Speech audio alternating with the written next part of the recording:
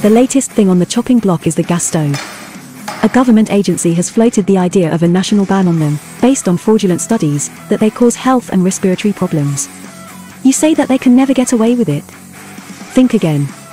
Regulators are unbearably powerful. They have every intention of carrying out their wishes, and they enjoy every minute of it. They have disdain for Congress and scoff at your protests. They believe they alone are in charge and you have nothing to say about it.